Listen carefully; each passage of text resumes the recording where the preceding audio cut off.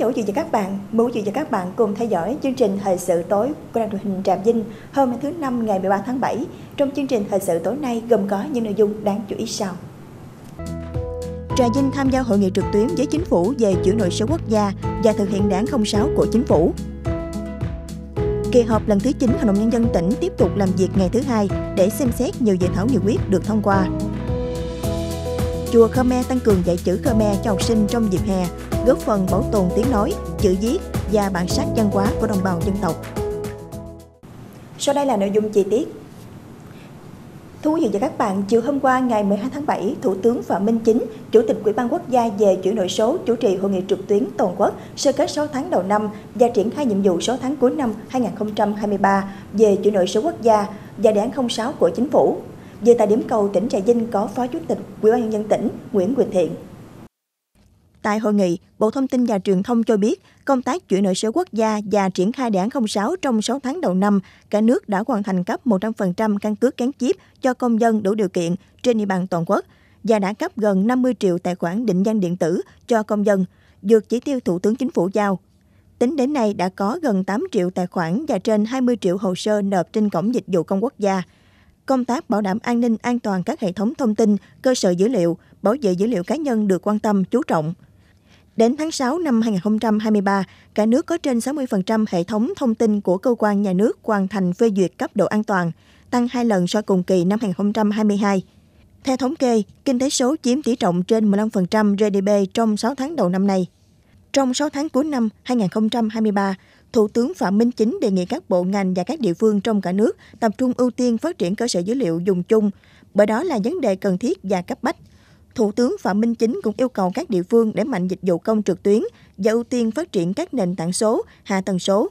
Trong chuyển đổi số, cần đặc biệt chú trọng công tác bảo đảm an ninh an toàn các hệ thống thông tin, cơ sở dữ liệu và bảo vệ dữ liệu cá nhân. Phấn đấu trong năm 2023 phải có kết quả cao hơn năm 2022. Hôm nay ngày 13 tháng 7, kỳ họp lần thứ 9 Hội đồng nhân dân tỉnh khóa 10 tiếp tục ngày làm việc thứ hai để nghe thuyết trình 30 dự thảo nghị quyết trình Hội đồng nhân dân tỉnh xem xét. Ông Kim Ngọc Thái, Phó Bí thư Thường trực tỉnh ủy, Chủ tịch Hội đồng nhân dân tỉnh và bà Dương Thị Ngọc Thơ, Thường vụ tỉnh ủy, Phó Chủ tịch Hội đồng nhân dân tỉnh, ông Kim Quân, tỉnh ủy viên, Phó Chủ tịch Hội đồng nhân dân tỉnh điều hành kỳ họp. Trong 30 dự thảo nghị quyết được thuyết trình trong ngày hôm nay, nhóm Kinh tế Ngân sách có dự thảo nghị quyết sửa đổi bổ sung điều 5 nghị quyết số 18 ngày 9 tháng 12 năm 2021 của Hội đồng Nhân dân tỉnh quy định về các nguyên tắc, tiêu chí và định mức phân bổ dự toán chi thường xuyên ngân sách địa phương năm 2022 và giai đoạn 2022-2025.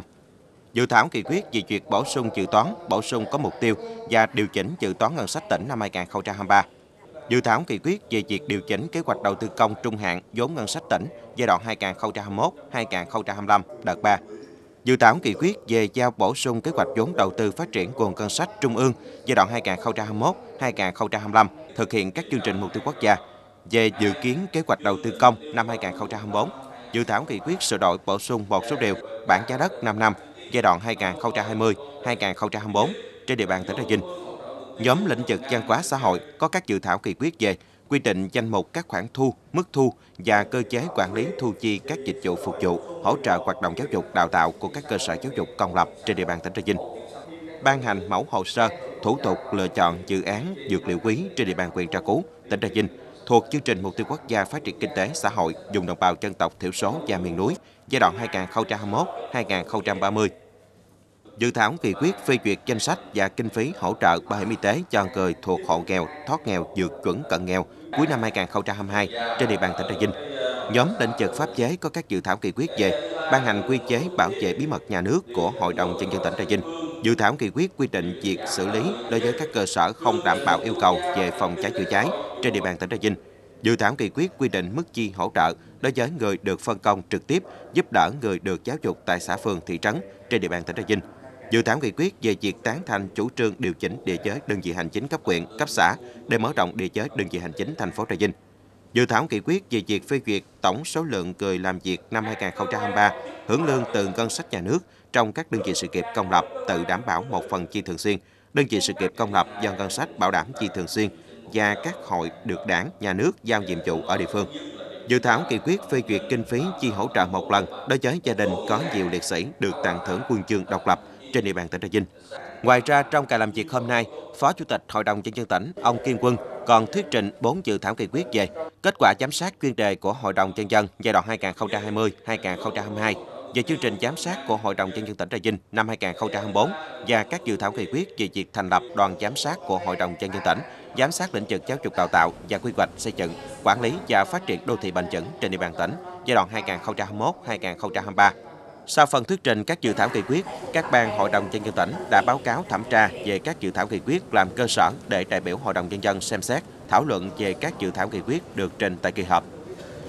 Cũng trong kỳ làm việc hôm nay, Hội đồng Nhân dân tỉnh khóa 10 đã xem xét ra kỳ quyết miễn nhiệm trưởng ban kinh tế ngân sách Hội đồng Nhân dân tỉnh Trà Vinh nhiệm kỳ 2021-2026 đối với ông Nguyễn Quốc Phương do được luân chuyển nhận nhiệm vụ bí thư huyện ủy huyện Trà Cú xem xét bầu và thông qua nghị quyết kết quả bầu cử bà Thân Thị Ngọc Kiều, Chủ tịch Hội đồng Nhân dân huyện Càng Long, giữ chức vụ trưởng ban kinh tế ngân sách Hội đồng Nhân dân tỉnh Trà Vinh, nhiệm kỳ 2021-2026.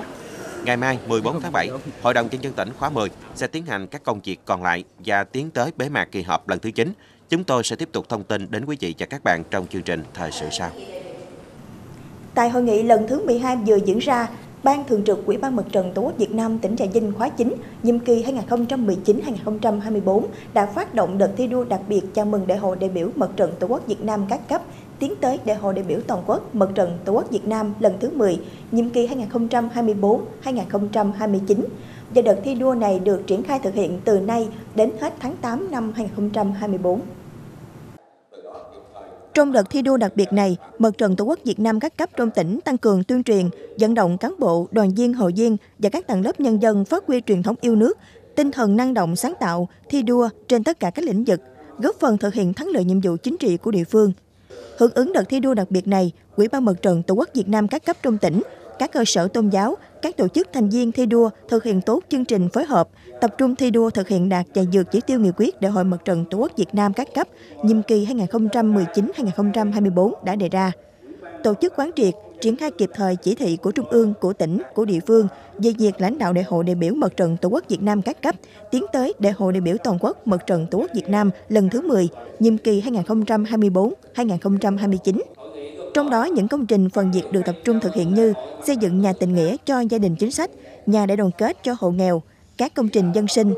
tuyên truyền vận động người dân bàn giao mặt bằng thực hiện các dự án trọng điểm của tỉnh, hoàn thành các tiêu chí xây dựng nông thôn mới, đáp ứng được yêu cầu nguyện vọng của nhân dân, phù hợp với điều kiện thực tế của từng địa phương, đơn vị, tạo sự đồng thuận phấn khởi trong cộng đồng dân cư.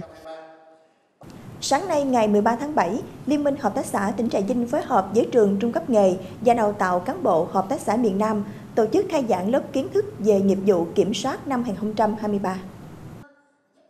Tham gia lớp tập quấn có 50 đại biểu là ban kiểm soát, kiểm soát viên chuyên trách của các hợp tác xã trên địa bàn tỉnh Trà Vinh.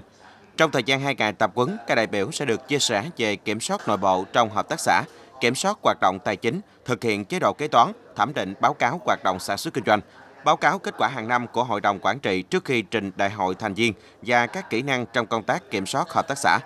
Mục đích của lớp tập quấn là nhằm giúp cho các học viên đang làm công tác kiểm soát nâng cao kiến thức, kỹ năng mềm để thực hiện có hiệu quả công tác kiểm soát, giám sát, giúp hợp tác xã hoạt động có hiệu quả, ổn định hơn và mang lại lợi ích, lòng tin cho các thành viên trong hợp tác xã. Lãnh đạo huyện Cầu Kè vừa đến thăm động viên các chiến sĩ thanh niên tình nguyện hè đang tham gia chiến dịch tại mặt trận xã Phong Thành. Chiến dịch thanh niên tình nguyện hè năm nay tại xã Phong Thạnh, huyện Cầu Kè có 16 chiến sĩ thường trực là Liên chi hội sinh viên Trà Vinh, trường Đại học Cần Thơ hỗ trợ hoạt động từ ngày 10 đến ngày 16 tháng 7. Tại đây, các chiến sĩ hướng dẫn người dân trên địa bàn xã cài hai ứng dụng khám chữa bệnh từ xa, sổ sức khỏe điện tử trên thiết bị điện thoại di động và tham gia dọn dẹp vệ sinh cảnh quan môi trường, trồng và chăm sóc các tuyến đường qua trên địa bàn xã. Nói chuyện với các chiến sĩ tình nguyện, Ông Trần Thanh Bình, Phó Bí thư Thường trực huyện ủy Cầu Kè, ân cần thăm hỏi sức khỏe và tìm hiểu đời sống sinh hoạt của các chiến sĩ và động viên các chiến sĩ vượt qua khó khăn, phấn đấu hoàn thành tốt nhiệm vụ với phương châm cùng ăn, cùng ở, cùng làm, đi dân nhớ, ở dân thương. Ngoài ra, Phó Bí thư Thường trực huyện ủy cũng đề nghị Ban Chỉ huy Chiến dịch Thanh niên tình nguyện hè huyện Cầu Kè và xã Phong Thạnh cần quan tâm tạo mọi điều kiện tốt nhất để các chiến sĩ an tâm tham gia thực hiện hoàn thành tốt công việc, đảm bảo an toàn, chất lượng và hiệu quả, góp phần xây dựng xã Phong Thạnh đạt chuẩn nông thôn mới nâng cao trong năm nay. Dịp này, Phó Bí thư Thường trực huyện ủy Cầu Kè tặng quà cho các chiến sĩ tình nguyện nhằm động viên khích lệ tinh thần để các chiến sĩ phấn đấu hoàn thành tốt nhiệm vụ trong chiến dịch tình nguyện hè năm nay. Ngày 12 tháng 7, Đoàn từ thiện Hội chữ thập đỏ quận 5 thành phố Hồ Chí Minh phối hợp với Hội chữ thập đỏ tỉnh Trà Vinh tổ chức trao tặng xe đạp cho học sinh nghèo và tặng quà cho hộ nghèo ở huyện Trà Cú. Tại đây, đoàn đã trao tặng 50 chiếc xe đạp, mỗi chiếc trị giá 1 triệu 600 ngàn đồng và nhiều dụng cụ học tập cho học sinh nghèo ở hai xã Thanh Sơn, Kim Sơn và xã Hàm Giang, huyện Trà Cú. Ngoài ra, tại đây, Hội chữ thập đỏ quận 5 thành phố Hồ Chí Minh và Hội chữ thập đỏ tỉnh Trà Vinh còn trao tặng 100 phần quà cho hộ nghèo xã Thanh Sơn, mỗi phần quà trị giá 500 ngàn đồng. Đây là những phần quà được Hội chữ thập đỏ quận 5 thành phố Hồ Chí Minh vận động các nhà hảo tâm tại thành phố Hồ Chí Minh tài trợ. Được biết, từ đầu năm 2023 đến nay, Hội chữ thập đỏ tỉnh Trà Vinh đã vận động các nhà hảo tâm trong và ngoài tỉnh tổ chức thăm tặng quà, khám bệnh miễn phí cho hàng ngàn lượt hộ nghèo trên địa bàn, với tổng kinh phí trên 1 tỷ đồng, nhằm góp phần thực hiện tốt công tác an sinh xã hội ở địa phương, giúp cho hộ nghèo có điều kiện vươn lên trong cuộc sống.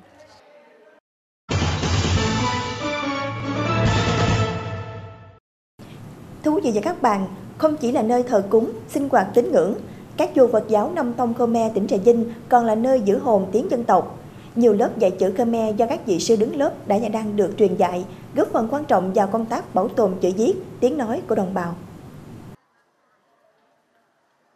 Chùa Phonodon hay còn gọi là chùa Dòng Lớn, ấp Cây Gia, xã Đại An, huyện Trà Cú, hiện dành hai giải nhà trong khuôn viên chùa để mở lớp dạy chữ Khmer cho con em địa phương vào dịp hè. Ban quản trị chùa cho biết, các dạy sư dạy học trong dịp hè để học sinh biết được chữ viết và phong tục tập quán của dân tộc mình.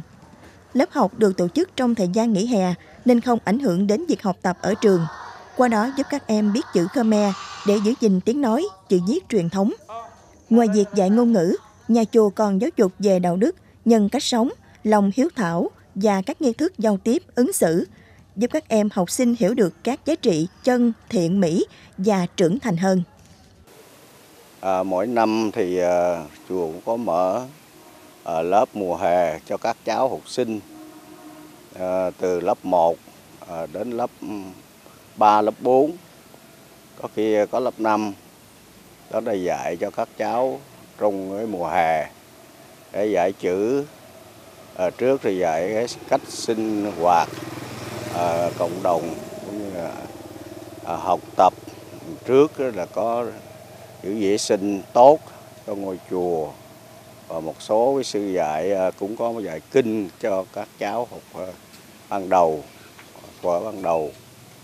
Học à, chữ người dân tộc Khmer mình. Bởi vì ở chùa thì mỗi năm có tổ chức mở, đó là lớp ban đầu. Còn cái lớp Phật học lớp Phật học cũng có mở cho các sư học. À, các tỉnh, à, các huyện để đến học tại chùa Nô Đôn. Chùa Phờ Nô Đôn được xây dựng hơn 300 năm và bắt đầu mở lớp dạy chữ Khmer hơn 20 năm nay. Mỗi năm có hơn 150 học sinh từ cấp tiểu học đến cấp 3 tới học tại chùa trong khoảng 3 tháng hè. Dạy tiếng Khmer trong dịp hè đã tạo sự đồng thuận cao trong nhân dân. Bởi chương trình này không chỉ mang lại hiệu quả giáo dục ngôn ngữ mà còn tạo điều kiện cho con em đồng bào Khmer có nhiều thời gian học tập, vui chơi, giao lưu, học hỏi lẫn nhau. Khmer có chữ để con cháu ngày sau giữ gìn nếp à, của Khmer. Mà nhưng à, học tập của Khmer này á, cũng như trong các môn như phổ thông có môn nào bên Khmer có môn đó.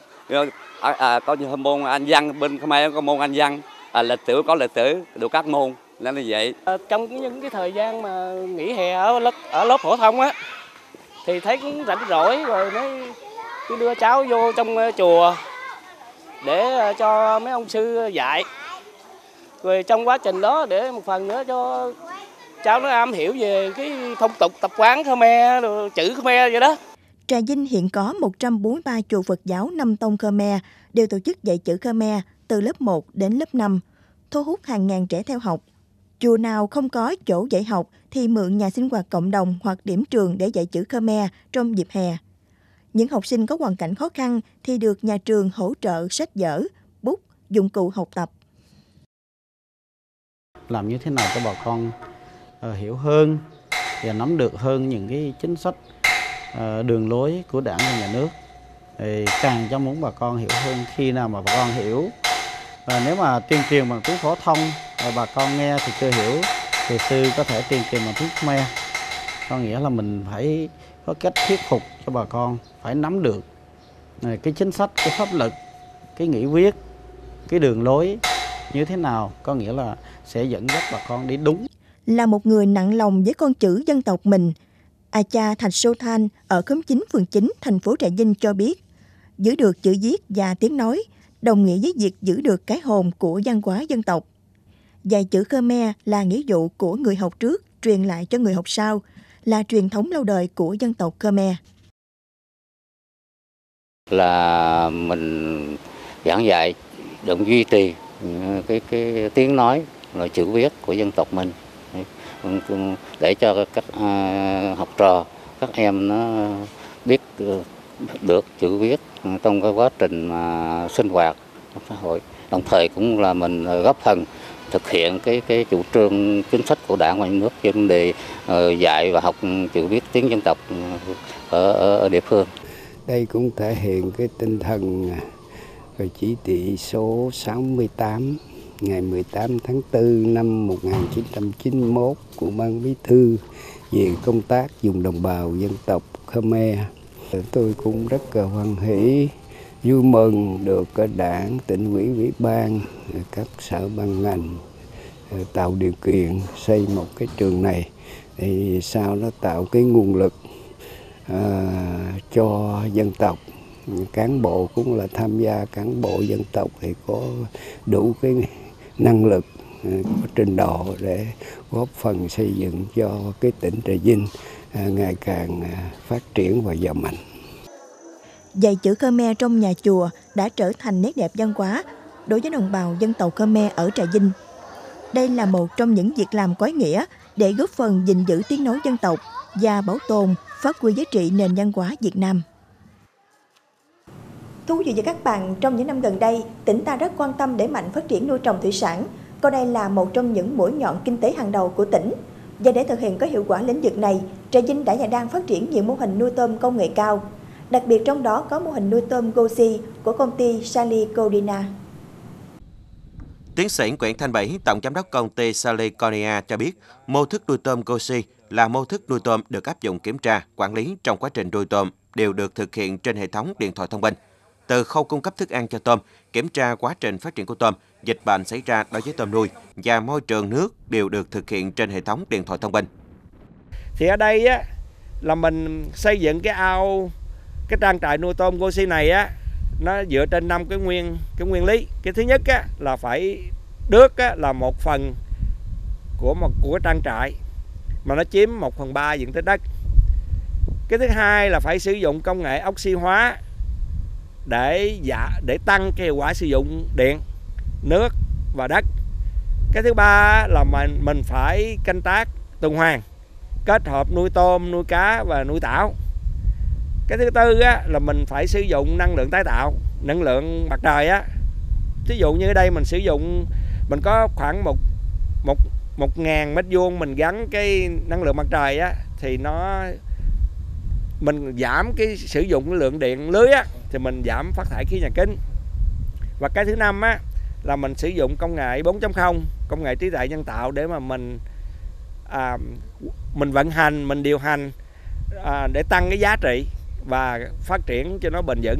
Mô thức nuôi tôm Gosi của công ty Saliconia được thực hiện trên tổng diện tích 7,5 hecta ở xã Trường Long Hòa, thị xã Duyên Hải. Với diện tích này, công ty sử dụng 14 ao nuôi tôm với mật độ thả nuôi từ 360 đến 400 con tôm giống trên 1 mét vuông.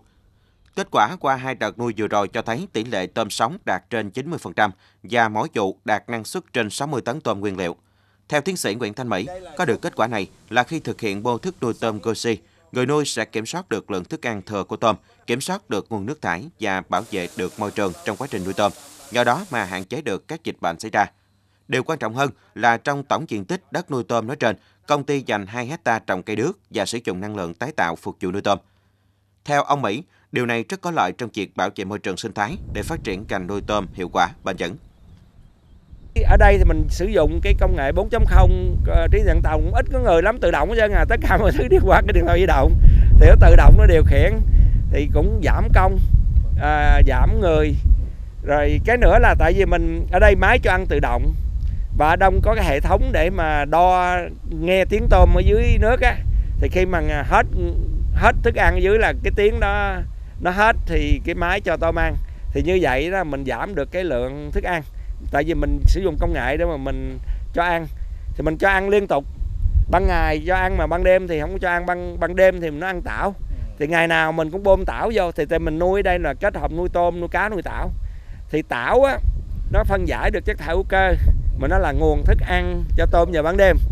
mà mà con tôm mà nó ăn tảo á thì cái chất lượng nó ngon rất là ngon thì do đó mà với tảo nó cung cấp oxy cho mình đây là mô thức nuôi tôm công nghệ cao đầu tiên được thực hiện ở Trà Vinh và được ngành nông nghiệp đánh giá cao. Bởi khi thực hiện thành công mô thức này sẽ cung cấp giải pháp đồng bộ về công nghệ số, lý hóa và sinh học. Người nuôi tôm với mật độ 500 con giống mỗi mét vuông không cần tới kháng sinh như những mô hình đang được sử dụng, chi phí giảm rõ rệt. Dễ thấy nhất là giảm được lượng điện tiêu hao sử dụng sục không khí bình thường từ 5.000 kWh xuống còn 2.000 kWh cho mỗi tấn tôm.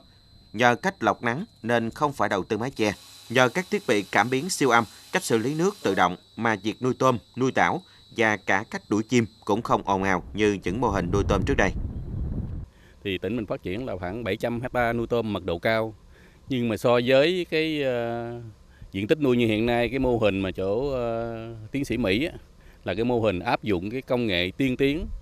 ờ, của thế giới và của cá nhân của của anh Mỹ. Vào đây là cái mô hình phải nói nó hiệu quả nó mang cái tính là bền vững. Hệ thống là xử lý nước thải bằng vi sinh học. Rồi cái hệ thống cái nước đầu vào đầu ra là nó an toàn thứ hai nữa là áp dụng những cái, cái tiến bộ học như là công nghệ 4.0 là rất là tốt. Thì cái mô hình này đối với ngành nông nghiệp cũng rất là quan tâm là đồng hành cùng với ờ, cái mô hình này là chỗ ờ, tiến sĩ Mỹ. Như vậy thì cũng tìm hiểu qua những năm gần đây thì cái này là rất là hiệu quả. Thì chỗ này thì ờ, giao cho đơn vị chuyên môn để tiếp tiếp nhận để nhân rộng cho cái của tỉnh mình vì cái mô hình này là vừa đạt năng suất mà vừa đạt được cái chất lượng rồi tôm được cái an toàn vệ sinh ờ, thực phẩm là rất là tốt thì ờ, tạo điều kiện cho cái ờ, tiêu thụ thị trường trong nước và quốc tế rất là bền vững và ổn định. Tin từ Hiệp hội Chế biến và Xuất khẩu Thủy sản Việt Nam cho biết, xuất khẩu tôm trong năm 2022 của Việt Nam tăng khoảng 10% so với năm 2021. Con tôm chiếm gần 50% kim ngạch xuất khẩu thủy hải sản của Việt Nam, trong đó đồng bằng sông Cửu Long đóng góp trên 70%. Vì vậy, việc phát triển ngành nuôi tôm hiệu quả bền vững để đóng góp cho nền kinh tế là vấn đề quan trọng hiện nay của tỉnh Trà Vinh nói riêng, của khu vực đồng bằng sông Cửu Long nói chung. Quý vị và các bạn thân mến, đến đây chúng tôi xin được kết thúc chương trình thời sự tối nay. Cảm ơn quý vị và các bạn đã dành thời gian quan tâm theo dõi.